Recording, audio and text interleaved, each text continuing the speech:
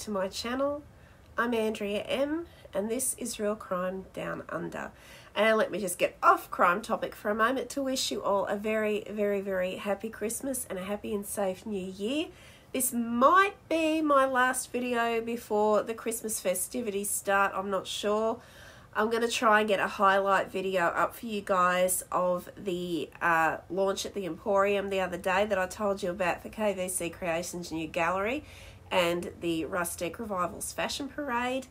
Unfortunately, the humidity did mess with a little bit of the filming that I got done that night, so I'm going to have to try and chop it up and make a highlight reel out of it, but it'll just be a quick little reel. That'll be a lot of fun for you guys, so I'll try and get that up after I have this video all done and edited. But I just wanted to take this chance to say thank you so much to everybody who's supported me during the year. I've been sick a lot, I've had a lot of things happen and everybody stuck with me, so that is amazing. And thank you guys all so, so much. And thank you to all of my new subscribers who have recently joined the channel. I have so much coming up for you guys, so I'm really happy that you're here.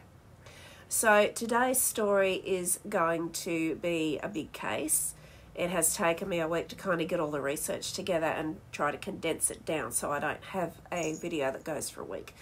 So we're going to get into the video right now, but please may I ask you also before we begin, if you've been watching for a while and you're not subscribed yet, what are you waiting for? Obviously you keep coming back, so you like the content. So if you haven't subscribed already, please do so. I'm nearly halfway there to my first 1,000 subs, and thank you guys all so much for that. But I still need to get another just over 500 subscribers so that I can get to my first 1,000 subscribers. And that means perks like paid advertisements, paid channel memberships, merch, it also gives me a little bit of an income so that I can upgrade all of my equipment and stuff, which means better videos for you guys, which is what I would really love to do. So if you could please help me out with that, that would be great. Also, please like the video, please drop a nice comment or a discussion in the comment section below and please always keep it respectful so that we can all enjoy YouTube together. It's much nicer when we all respect each other. Lively debates are encouraged, but please just always be respectful to each other and towards me because it's just a whole heap nicer. That being said, let's get into today's case. And I've been wanting to cover this one for a while, but as with what usually happens here on YouTube with cases that are interesting and do turn out to be popular in their ickiness or whatever you want to call it, it seems to me, and I do do this myself, the worse the case is, the more I want to know about it. Um, and mainly because I want to know that at least some of the victims might have come out of it and are okay now, or that the perpetrators have been caught. So this was a case that did capture YouTube quite a bit. And a few of my colleagues on here had covered this case probably all around about the same time. So I'm not one for stealing other people's thunder, so I decided to wait for a little bit to do this case, but it has been one I've been sitting on for a while and I have been putting a lot of research into and I've tried to condense it as much as I can, as I said. So today's final real crime down under for 2023 is centering around a cult that was created in Australia in the 1960s. And if you are familiar with this case, you probably already guessed who it's going to be about. So let's just get right on into it. So, as I began, today's Real Crime Down Under centers around a religious cult founded in the mid 1960s by a woman calling herself, you've probably already guessed this if you are familiar with this case, Anne Hamilton Byrne. The cult would come to be known as the family. And to some, Anne Hamilton Byrne was a yoga teacher with a penchant for plastic surgery. To others, she was the evil leader of an apocalyptic cult, and she had more than 500 followers and more than 28 children. And when I say she had more than 28 children, they were not really her children. She led people to believe that all 28 were hers However, they were not, and this is where the atrocities of today's case are centered around, were the lives of the 28 children and the other people that she more or less sucked in to her beliefs and this sect, which became a cult eventually. So, some of the children were the children of some of the cult members, others were newborns that came from unwed mothers, tricked into thinking their babies were going to good homes. A few were just out and out stolen, and that is from the investigators who worked on the case. So, recently, some of those children began speaking out about Hamilton Byrne's attempt to build a perfect race through a collection of children. So, a lot of the literature that I have read for this is like a few years old. So, when I say recently, this sort of came out towards probably the end of the late 80s when everything finished into the 90s and the early 2000s. So, it's recent ish. And unfortunately, some of the children have passed away in between the cult being disbanded, well, that branch of it being disbanded. For all intents and purposes, reports are saying that the family is still alive and well in Australia and still operating somewhere. So I'm hoping that it's not operating to the degree that it was when it was under Hamilton Byrne's control. So some of the children began speaking out about her attempt to build a perfect race through the collection of the children and some of the children were forced to have their hair bleached blonde and were homeschooled on an isolated property and were injected with LSD as part of an initiation ritual. The harsh treatment was carried out by some of the women who were uh, also under Anne Hamilton Byrne's control. They were members of the cult and they were known as the aunties. And the aunties were loyal cult members who lived with and taught the children. So, okay, all sounds great, right? Aunties, usually great people. They take you out for ice cream, to a movie. They buy you stuff your parents wouldn't. Mm-mm. Not in this case. And I'm going to get to why the aunties were so evil and what they did was so atrocious. But I will get to that. These were not an aunt that you would want to have, believe me.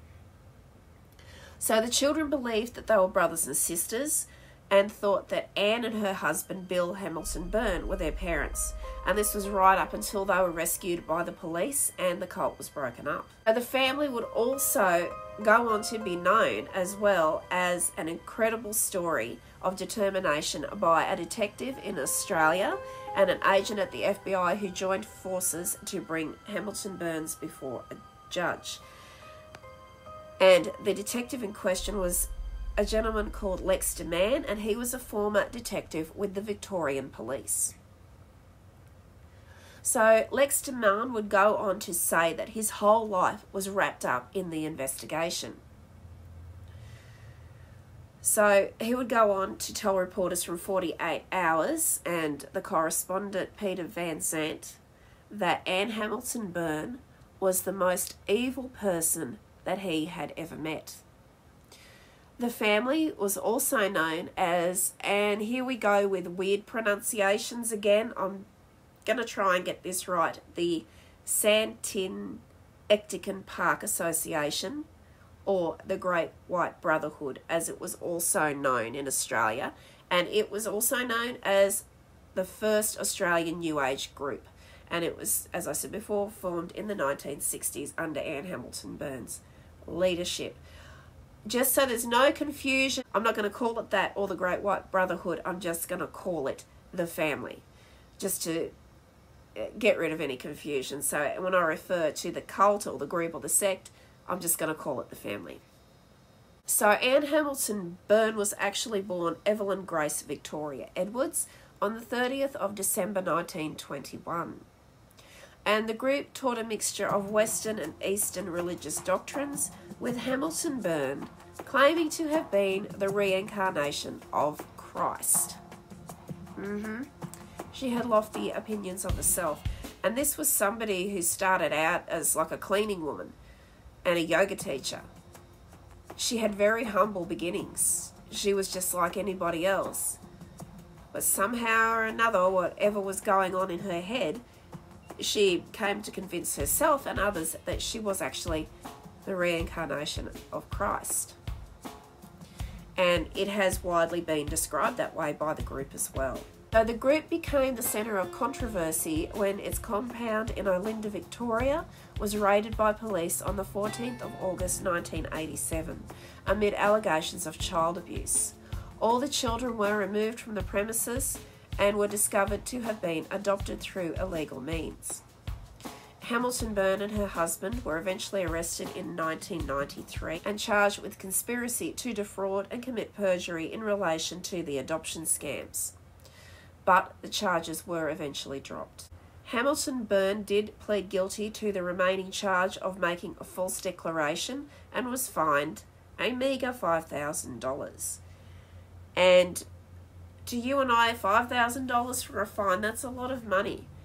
But as the case progresses, you'll see that was a mere drop in the ocean to Anne Hamilton Byrne. That would have been pocket change for her, and you're about to find out why. So, as far as these poor children that were under her control was concerned, there were 28 of them, ranging from toddlers to teenagers, and they only learned the truth of their lives much later. And one of the children, who was uh, one of the main children under Anne Hamilton Byrne's control, was a woman named Sarah Moore. And Sarah Moore would go on later to tell media reporters that the cult doctor arranged for my biological mother to be drugged and made to sign an adoption form. Sarah also had believed that Anne was her birth mother and she only learned the truth as an adult. Sarah would also go on to say, and just get ready for this, this is very horrific. Um, I can't remember whether or not my colleagues actually covered this part of the case in their video, so you might have heard it before. But if you are new to this case and you haven't heard it before, this is horrific and you need to prepare yourself. So Sarah would go on to say that during her birth, a pillow was put over her birth mother's head, and her birth mother was given major tranquilizers. And as soon as Sarah was born, she was taken away instantly. Her mother wasn't even allowed to see her or look at her. So you can imagine Sarah's poor mother, like her mother was a teenage girl with an unwanted pregnancy, maybe she was, you know, like a teenage girl, frightened, pregnant, probably not knowing what she was going to do. Even if she had decided that she wanted to surrender her baby to adoption, they should, you know, usually they will let the mother see the baby at least, give her a chance to change her mind because everything changes for a lot of people when the baby's actually born and they're like, okay, that's my child, I'm going to keep it. Sarah's mother didn't have that option. She didn't even get to see Sarah. And this went on a lot during the reign of Anne Hamilton Byrne because, like, you might be asking, okay, so how was this allowed? The point was, Anne Hamilton Byrne had doctors, she had lawyers, she even had the police in her pocket. And that was how she got away with what she did. She also had a doctor who ran a psychiatric clinic in her pocket. And a lot of people, if they came up against Anne Hamilton Byrne or she felt threatened by them, they would get referred to this doctor and they would be sent to the psychiatric clinic. But we'll get into that as the case progresses as well. So, Sarah Moore would go on to survive her time in the family and she did eventually reconnect with her birth mother in the years following her escape. Anne Hamilton Byrne did have one child of her own. She had a daughter. Thankfully for her own daughter, she was a young adult by the time Anne Hamilton Byrne started her cult. Later on, when Anne was in her 50s, she'd sometimes explain the arrival of new children by telling her followers that she was their biological mother. And this is a woman who is in her 50s. So by then, the whole having babies thing, getting pregnant on your own, just and who was the father of these children? Like was was it all supposed to be Bill? Or was it did she how did she explain that who the, the, the children's father was? Because he would have been older by that time too. That there's no way. Back then also because they didn't have the medical technologies i'm sure there are older ladies having babies well into their 50s these days. Back then though we didn't have that technology. So there was no way in hell somebody of that age was going to be having children of her own. And you have to think there were a lot of children that came into this place and she's tried to claim all of them as her own. Even a very young woman would never have had time to have that many children and be doing all the things that Anne Hamilton Byrne was also doing.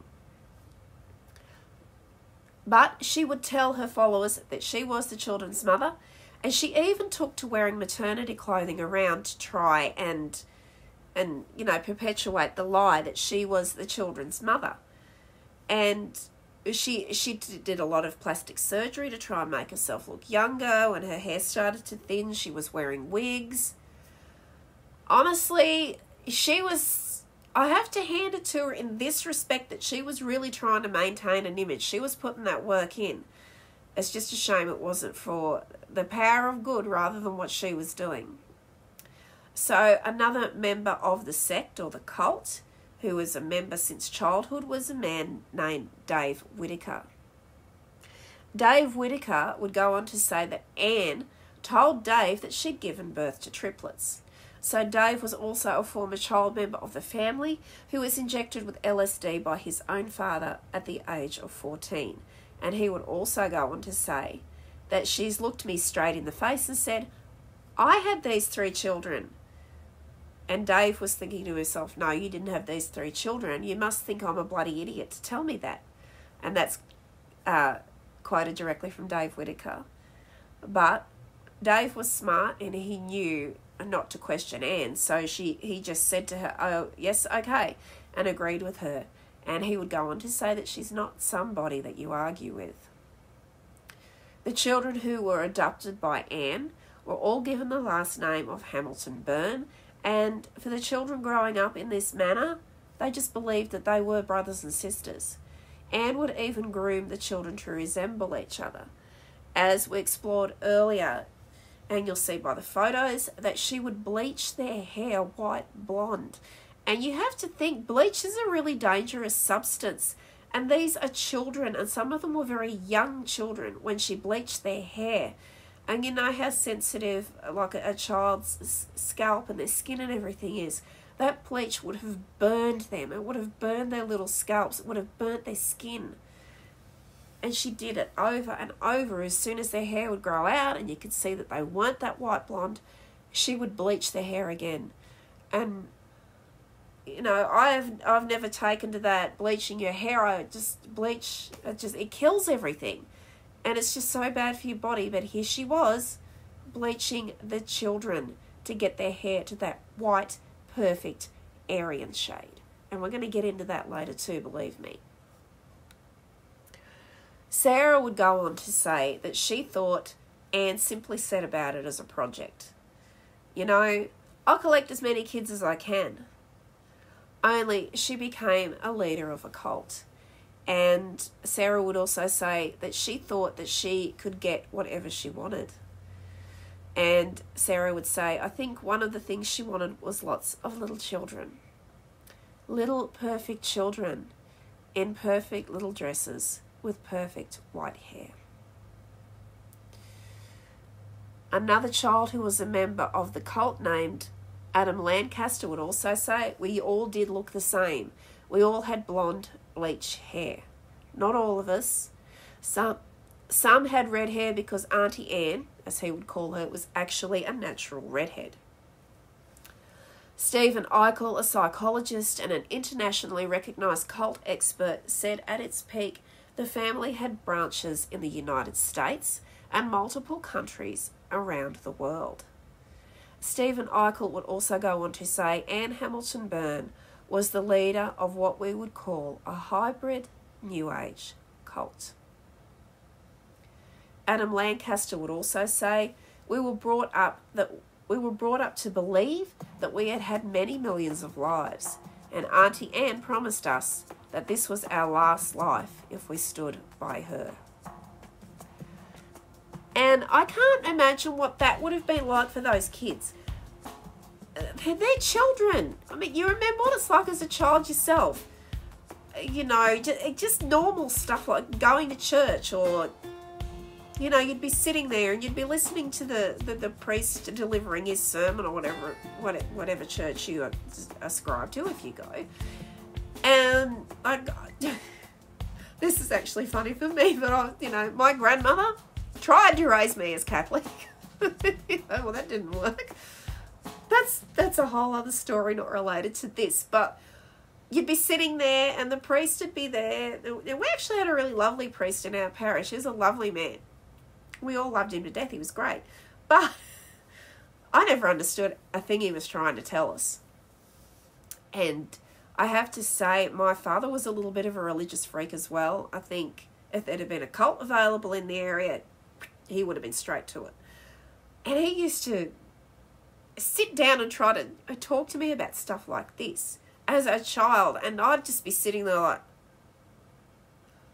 I wouldn't have a clue what he was talking about. So I can only imagine what it would have been like for these poor children being brought up in this cult, being drugged, being subjected to violence, trying to understand what the hell this nutcase was trying to tell them. Again, I'm speechless, words fail me. Sarah Moore would go on to say as well, I think she believed that the world would end in some sort of apocalyptic event and that we would be so perfectly trained and so disciplined that we would be able to lead what was left of the world into the next epoch. Anne would also deliver a highly creepy sermon, and it would go as quoted Those who are devoted to me, those are united with me. Those who are not devoted, they don't know me. Make of that what you will. So the adopted children lived apart from the adult cult members in an isolated compound near Lake Eildon, about three hours outside of Melbourne. The stark reality behind the images of a carefree childhood, and you'll see some photos here. The children say it was a constant fear of the woman they called mother and the cult women she assigned to take care of them. And this is where we get into what happened at the hands of Anne Hamilton Byrne and the aunties. Leanne Crease lived in the cult from birth until she was 17 years old. And this is Leanne's recounting of what her experience of growing up in the family was like. So Leanne would say the women that looked after us were called aunties. They starved us, they beat us, they did all sorts of horrible things to us. And in the interview with 60 Minutes that I watched in preparation for this case, um, Sarah would tell the reporter and she would show him a bucket. It was a big bucket they used to have. And if you were being naughty or they thought you were lying, they would take you down to this compound where this bucket was oh, These cases are so hard sometimes, and it was hard to watch when Sarah talked about this. They would take the children down to this compound. They would fill up the bucket. They would immerse the children's head into the water and they would hold them there until they were just about out of breath and they would yank them out and ask them again. And if they said, you know, are you lying? And they'd say no, they put them in again. They were waterboarding these children, and it didn't matter if the kids were telling the truth or not. They would eventually have to say yes to make the torture stop. And oh my god. Uh, I had a similar thing happen to me as a child. I'm not going to go into it here, but luckily for me, I didn't end up with a fear of water from it. But this was like every time that, you know they'd get caught out in a lie or what they the adults perceived as a lie they'd get marched down to this compound and they would get waterboarded and that's not all that happened to them another member of the cult one of the children Anuri Trina Byrne would go on to say that the aunties were to be avoided at all costs and they sounded like they were pretty frightening figures. Another child who grew up in the cult, Ben Shenton, would go on to say, as someone wet the bed, they'd get cold showers. And one of the youngest girls did not speak until she was around five.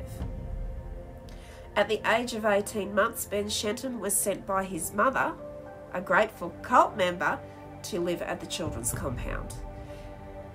Ben would go on to say that one of the boys had asthma. He was wheezing and snivelling and sick a lot.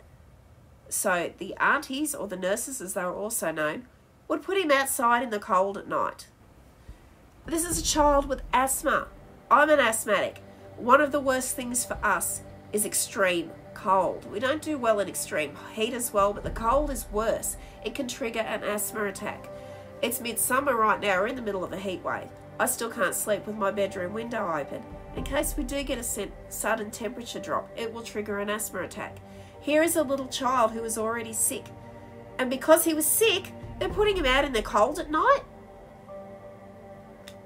Honestly, and like I said, I read all these through, I do the research, I watch the documentaries. While I'm reading it, it just hits me again at how awful people can be. And these were children. And she would go on to say in several interviews that she never laid a hand on them, that nobody was harmed. Wow. And Anuri Trina Byrne would also say, We could never be sure of what would happen next. We were frightened for each other all of the time. And this is like what I was just mentioning. In the interview I watched by the Australian 60 Minutes reporter, she was asked outright by the reporter interviewing her if she had ever harmed any of the children, to which she would look him right in the face and tell her own bold faced lie and say no. She never did. That was an outright lie, and I have a snippet of the interview here. And I warn you now, this woman is creepy, she's cold, and she's calculating, and she gave me the absolute chills the more she spoke.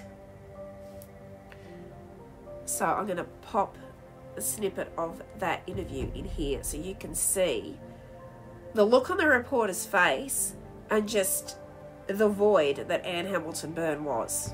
But take a look. The children ever hit? No, I can never say we went out to hit the children. Never. Never went out to hit them, but were never they hit? hit them. No. You never hit your child? No. You know quite well they can. They can what? Make things up? Kids can make things up. We've all been kids. You were a monster at times. I have nothing to say because I don't feel like one. Are you a monster? I'm not conscious of what you're saying. I should be conscious of. Are you a monster? Certainly not. Are you evil?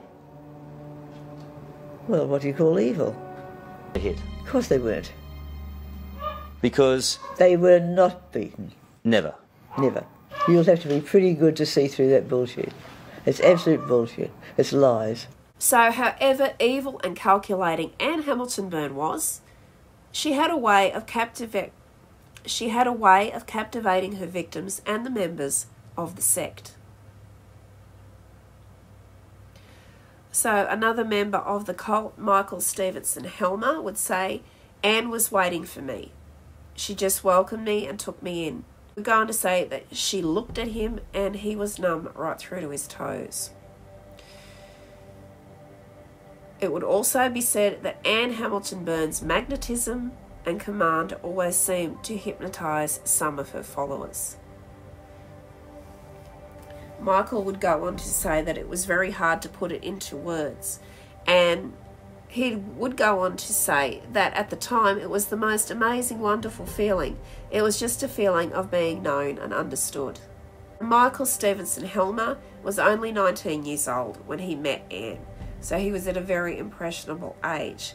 And he'd say she just radiated out. If you haven't experienced that before, have you experienced it? Trying to make sense of Anne Hamilton Byrne's magnetism. Even those who later broke away from the family are still awed by Anne's seductive strengths. Adam Lancaster would also go on to say, and he's one of the children from the cult, when Auntie Anne walked into a room, you knew she was there. She had the airs and graces of the Queen of England.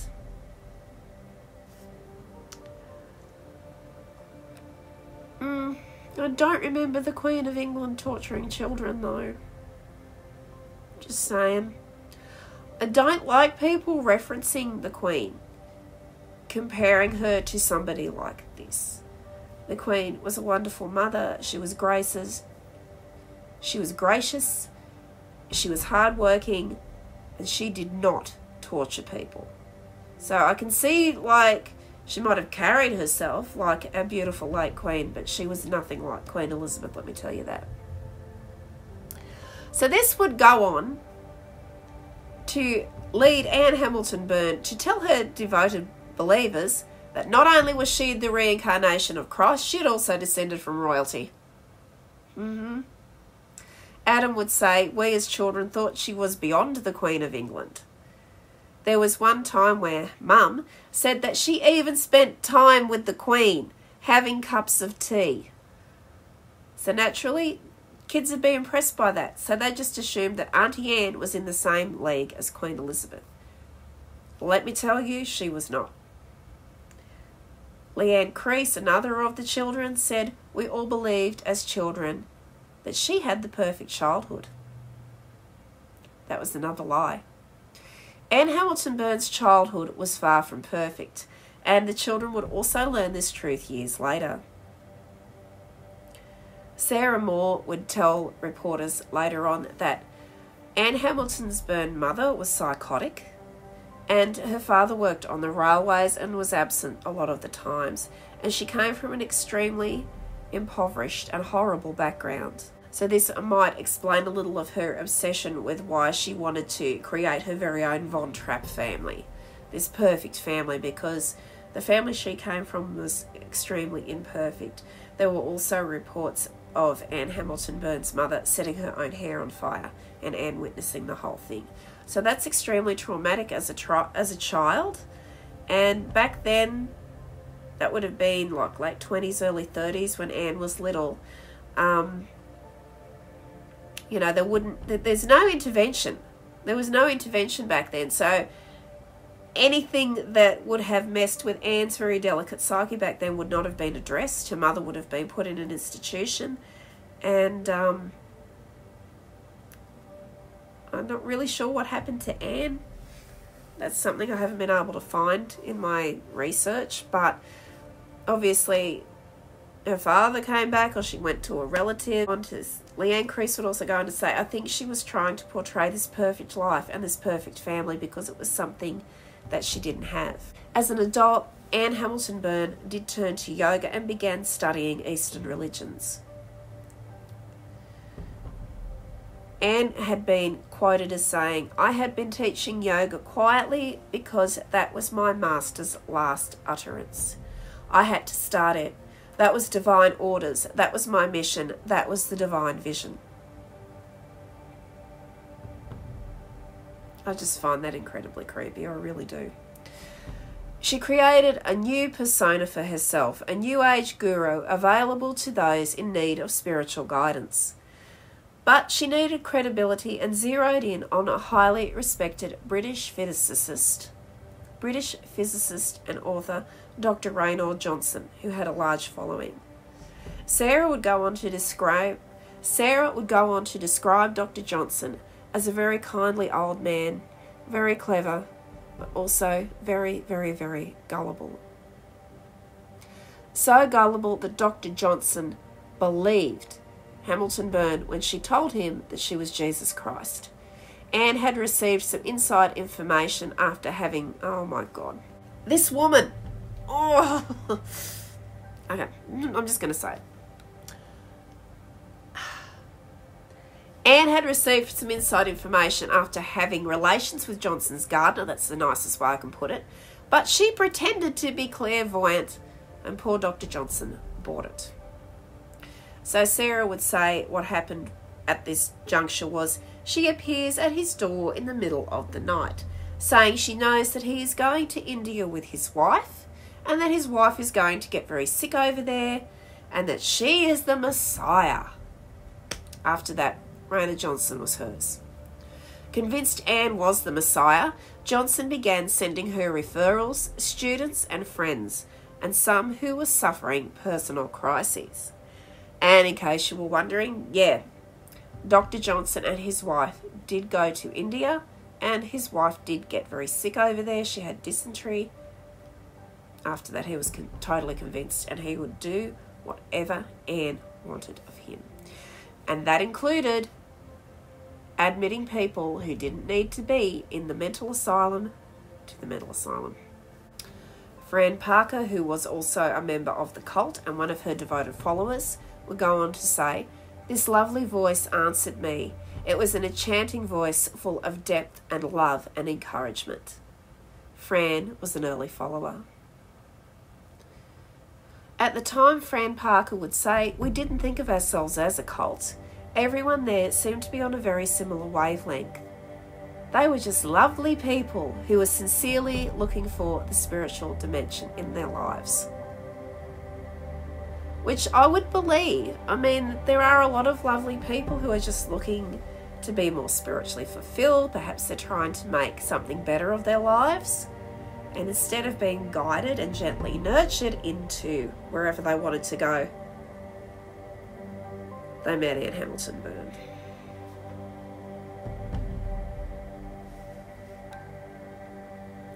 Sarah would go on to say that in Australia there was a huge interest amongst the upper middle class people in alternative spirituality.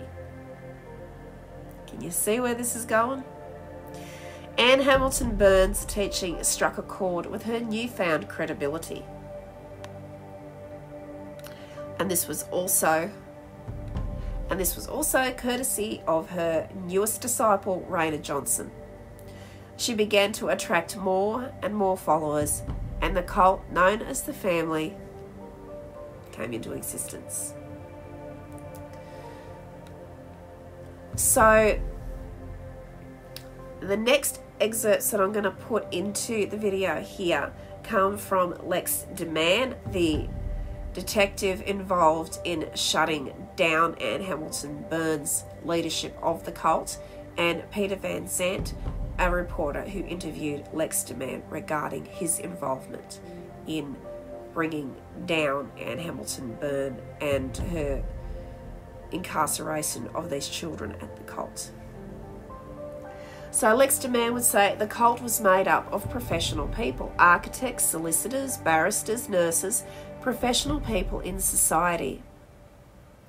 Peter Van Sant would go on to ask him, How do you get someone so smart to do something that the rest of the world perceives as just so stupid? Stephen Eichel would actually go on to answer this question. Stephen would say it's a question that haunts all of us all the time. One can be highly intelligent and very educated and yet have a real psychological naivete. A lot of times, people who are really smart and really educated mistakenly believe that they are now invulnerable to any kind of influence. And it is this perception of the self that, oh, I'm book smart, I'm too smart to be conned. And I'm sure Dr. Johnson thought the same thing. Detective Lex de Man says Anne targeted anyone who could help her amass her power and money. She set her sights on Bill Byrne, a successful and married local building contractor. Leanne Creese would put in her thoughts on the matter. I think that he was captivated by her charm just like everybody else was. So Anne and Bill ended up getting married. Oh, yeah. Bill divorced his wife and married Anne. They became the unquestioned leaders of the family sharing the new last name which would become known around the world Hamilton Byrne.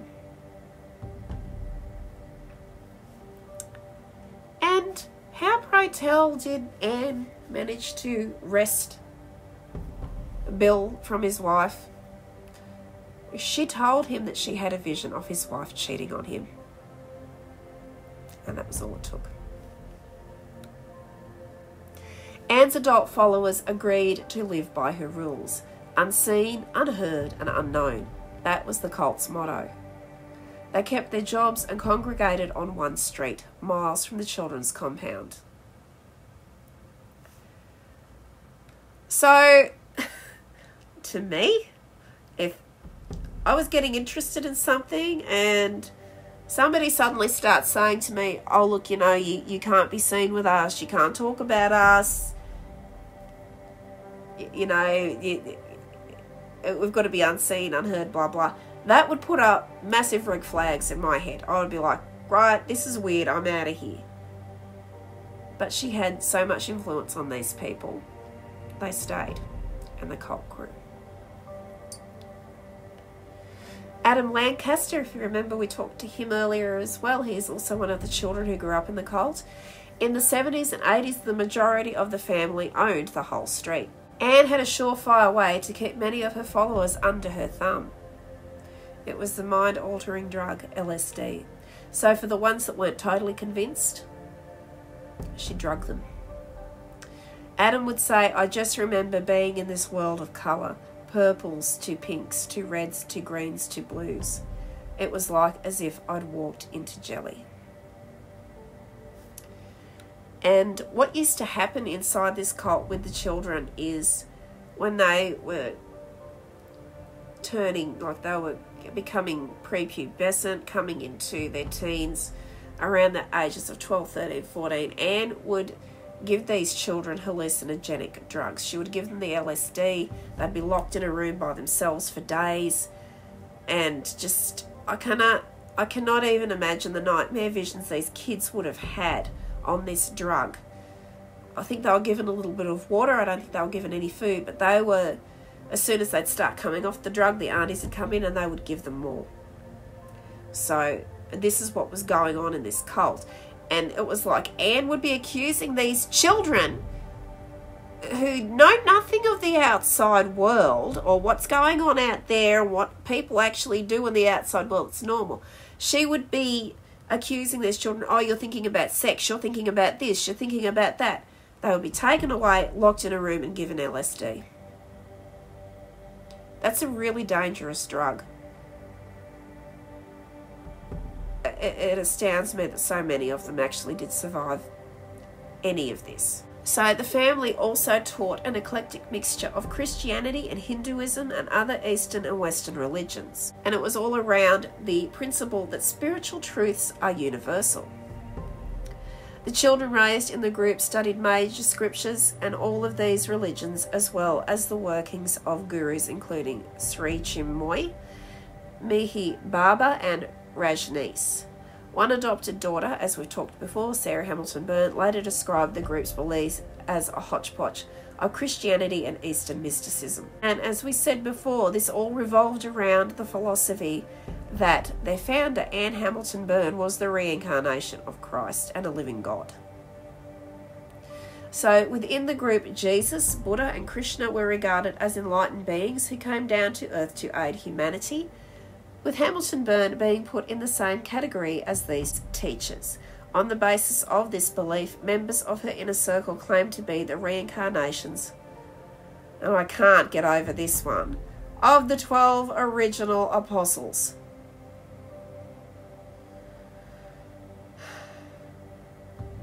You cannot make this stuff up.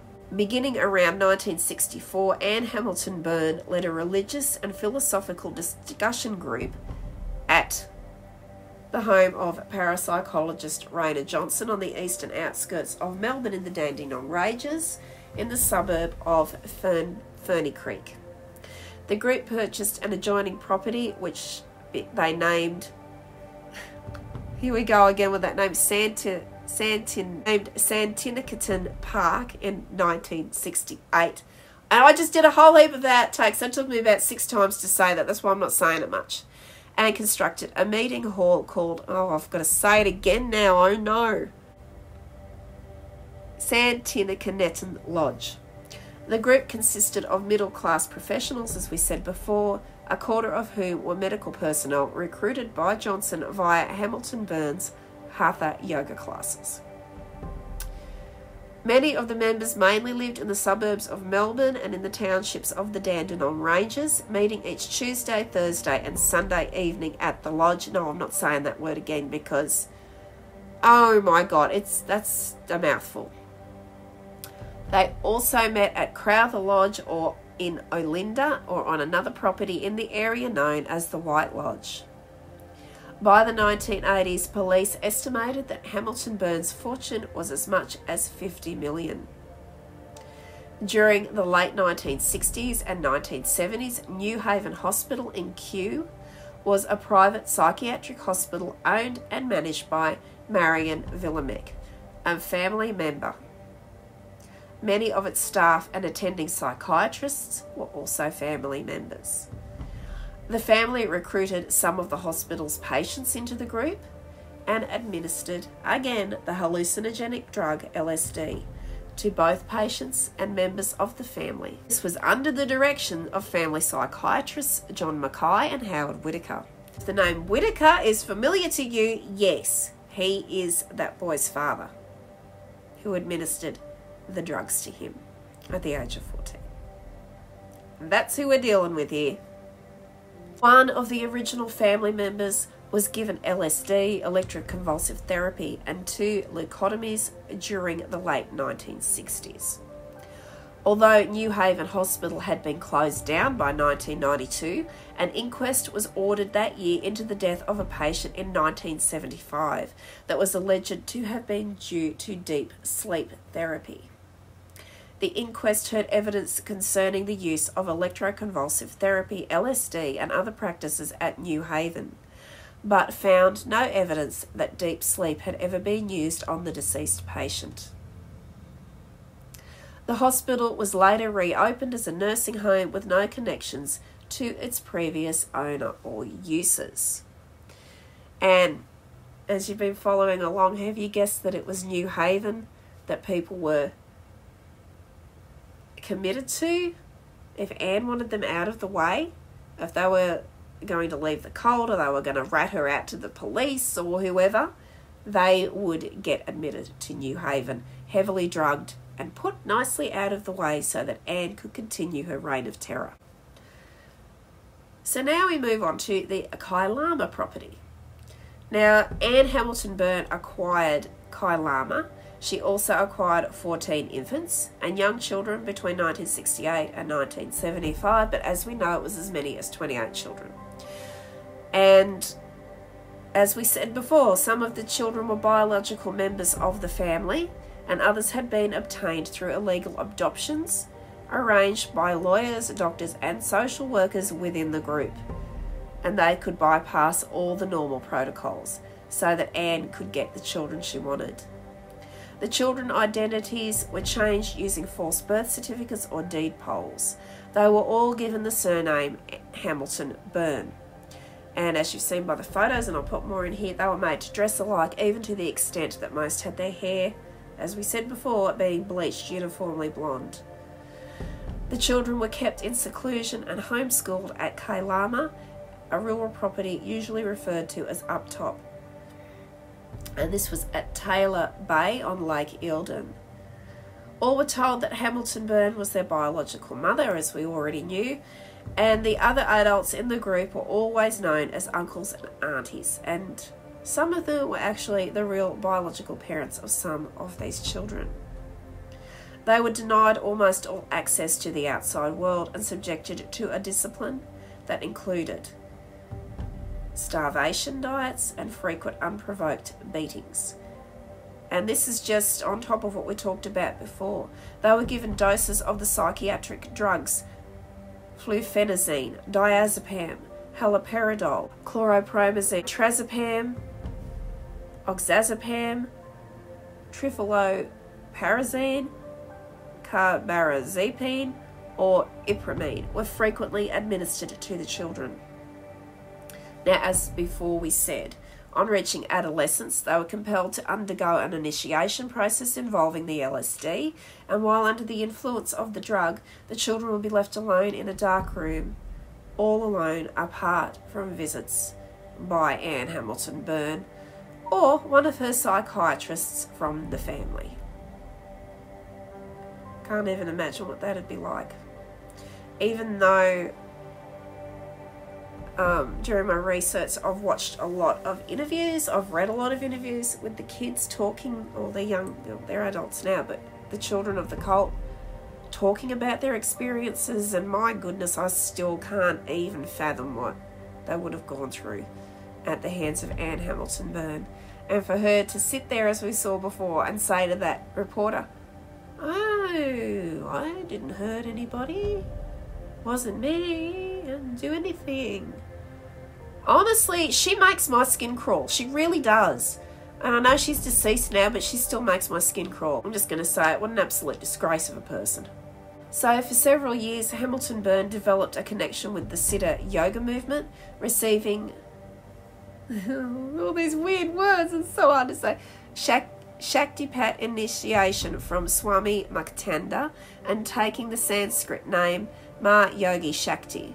In 1979 and 1981, she took some of the children to stay with Muk- Muktananda. Okay, I probably said this dude's name wrong before.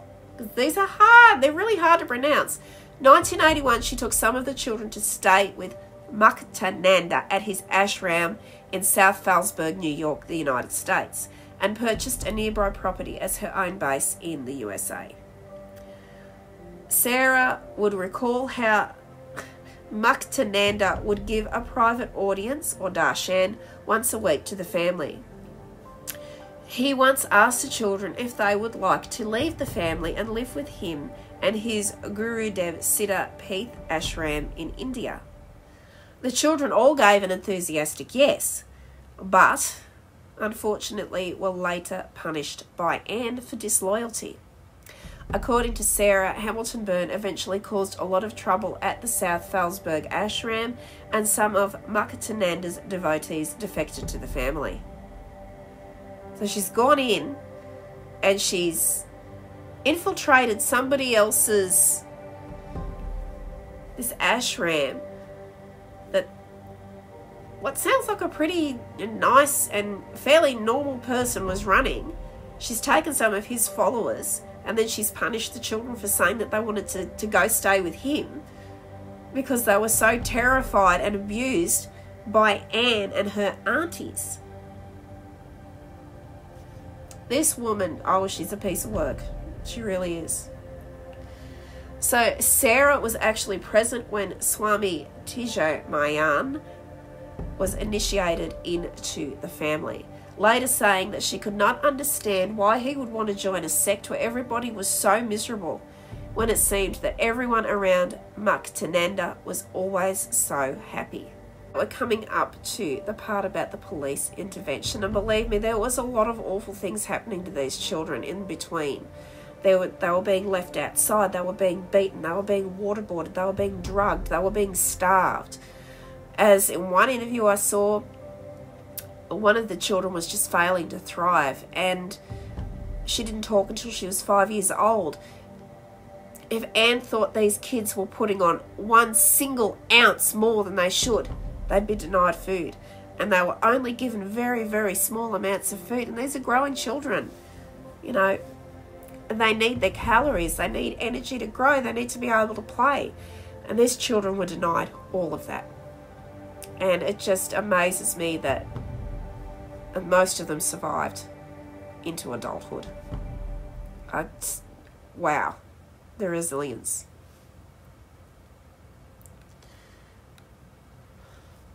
So in 1987, Anne Hamilton Byrne actually expelled Sarah from the group because of arguing and rebellious behaviour. So, with the support of a private investigator and others, Sarah, and Sarah is so courageous, she then played an instrumental role in bringing the family to the attention of the Victoria Police. As a result of Sarah's efforts, a raid took place on Kai Lama on the 14th of August 1987 and all children were removed from the premises. Sarah would later go on to study medicine and become a qualified doctor. She learned about her adoption and eventually, as I said before, did meet her biological mother and spent time with her. After the raid, Hamilton Byrne and her husband left Australia for a period of six years. Operation Forest, an investigation involving police in Australia, the UK, and the US, resulted in their arrest in June of 1993 by the FBI in New York City. This followed admissions by former members of the family, including the group's solicitor, Peter Kibbe, that the group had engaged in adoption scams, including acts of forgery. Hamilton Byrne and her husband were extradited to Australia and charged with conspiracy to defraud and commit perjury by falsely registering the births of three unrelated children as their own triplets. Charges that were unfortunately later dropped. Elizabeth Whitaker, the wife of Howard Whitaker, was their co defendant. Hamilton Byrne and her husband pleaded guilty to the remaining charge of making a false declaration and were fined $5,000 each. And as I said before, that was mere pocket change to the Hamilton Byrnes. The conspiracy charges against Whitaker were dropped, but she was convicted of falsely obtaining nearly $23,000 between 1983 and 1987. Other members of the family were also tried at court. Margot McClellan, aged 64, was convicted of falsely obtaining $28,000 between 1978 and 1988. Joy Trevelyan, aged 56, was convicted of falsely obtaining over $38,000 between 1979 and 1988. Helen Buchanan, aged 49, was convicted of falsely obtaining almost $15,000 between 1980 and 1987. In 2009, two individuals received financial compensation from Anne Hamilton Byrne after suing her. Uh, she wasn't just going to do it out of the goodness of her heart, please don't think that. Her granddaughter, Rebecca Cook Hamilton, had sued for an alleged psychiatric and psychological illness alleged malnourishment, and cruel and inhuman treatment by Hamilton Byrne and her followers. Her reward was estimated to be at $250,000. Another former member of the family, Cynthia Chan, alleged that she had paid the, that she had paid the sum of $352,115 to Anne Hamilton Byrne for real estate in Olinda, but the property was never transferred to her. She also alleged that she paid the sum of 70400 to Hamilton Byrne for another property, but this too was never transferred to her. Hamilton Burns said she had no memory of the transaction. Of course she did, because she always tells the truth. We saw that in the interview, didn't we? Chan's judgment was estimated at $250,000.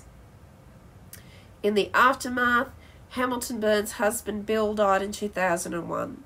She attended the funeral in her only public appearance following her conviction. In later years, it was reported that Hamilton Byrne was living in a Melbourne nursing home and suffering from dementia, and that an internal succession crisis for leadership of the group was unfolding. In an interview with the ABC local radio in Ballarat, Ben Shenton, as we spoke about Ben earlier, a former adoptee of the family said that the group had become a toothless tiger. Sarah Hamilton Byrne unfortunately died in 2016, aged only 46. Anne Hamilton Byrne died on the 13th of June 2009, aged 97. In 2016, a documentary on the sect entitled The Family was released at the Melbourne International Film Festival and was written, directed, and co produced by Rosie Jones. Companion book The Family The Shocking True Story of a Notorious Cult was written by Chris Johnston and Jones and published by Scribe in 2017. Jones later released a three episode miniseries, The Cult of the Family, in March of 2019. The 2019 novel In the Clearing by J.P. Pomare is a fictionalized account heavily based on the family, and it was turned into a 2023 TV series, The Clearing, which was produced for Disney Plus and stars Teresa Palmer, Miranda Otto, and Guy Pearce. And I actually have watched The Clearing. Um, I watched it honestly, when I watched it, I didn't realize at first what it was about. But as it progressed, I realized that yes, this was the mini series that was produced based loosely around Anne Hamilton Byrne and her family cult. And loosely, yeah, loosely, I, I don't know if I would say loosely because if you're familiar with this case and you want to go and watch The Clearing on Disney Plus, you will recognize everybody in it in an instant, especially Guy Pearce and Teresa Palmer's characters. And it was, yeah, followed along pretty closely. There were a lot of name changes and a few little things were changed. I guess, you know, because this it's a fictional series, but it is based on the family. And that is where we will leave this final video for 2023 for Real Crime Down Under. Now, there is reports that the family is still operating here in Australia. I have Googled and searched all that I can on it and I cannot find anything on it. So obviously they are still operating under the don't be seen, don't be heard, don't talk thing. But if there are any updates at all regarding the family and what they are up to these days, I'll be sure to let you guys know in a follow up video. As always, thank you from the bottom of my heart for my first full year on YouTube. I just passed a year on YouTube. I think it was back in June, July, somewhere around then. And it has been uh, an amazing year indeed. A lot's happened. Um, the, the channel's changed up a few times. I also have a second channel now that I've just started for scary story narrations. So I'm excited to get into that for next year and I'm excited to sprint to the finish of 2023 and go into 2024 with all of you guys for more of your favorites that I produce for you guys on this channel and for a few new things as well. Uh, it's going to be a massive year in 2024 and I'm so happy that you're all going to be coming into it with me. So, Merry Christmas, Happy New Year, and please go watch something happy, something you can enjoy after you've experienced the horror of Anne Hamilton Byrne and her cult. And I will see you all again very soon. If I don't get another video out before Christmas, Merry Christmas again, and I will see you very, very soon after Christmas. Have a wonderful time, everybody, and stay safe. Love to all of you and your families. Have a wonderful, wonderful holiday season if you're celebrating. And uh, I will see you all again soon. Bye.